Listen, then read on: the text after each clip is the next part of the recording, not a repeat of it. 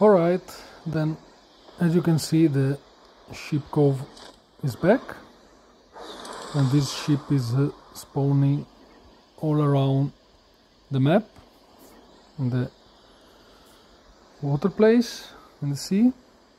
That's a good deal because it's full of loot and I'm going to take it. Even a supply there. So here it is.